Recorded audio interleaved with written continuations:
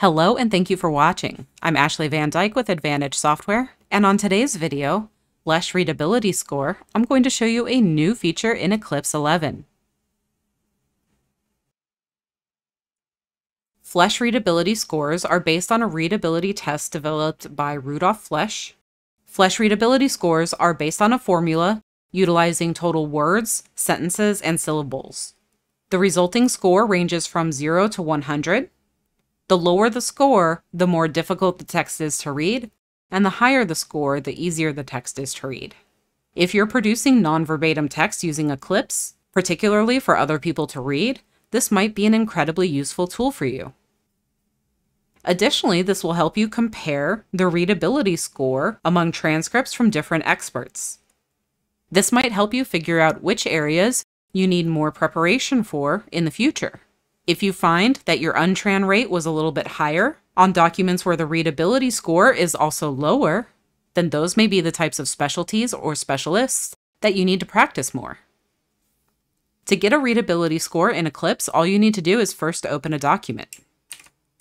I have a sample document here that is 14 pages long. Going to go to Tools and then Job Report to access the readability score.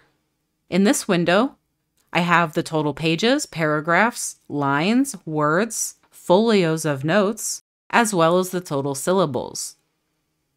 Using all of this information, Eclipse is able to then produce a readability score.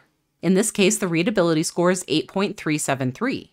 If I refer back to the chart on Wikipedia, that is professional level text extremely difficult to read. And so this was likely content that was very challenging for the reporter. However, you can also take any information that you'd like from any source and plug it into Eclipse and get a readability score.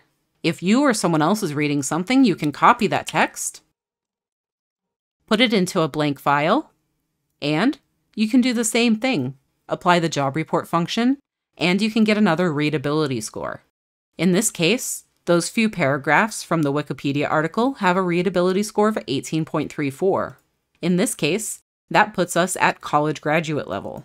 This new tool, when combined with other tools like job statistics, such as your untran rate and word per minute rate, can help you find the areas where you need to improve. This was a frequently requested feature, and we hope that you'll all enjoy it. Don't forget that Advantage Software offers anytime support. Tech support is available anytime, including weekends and holidays at 772 288 3266. Email support is also available at support at eclipsecat.com.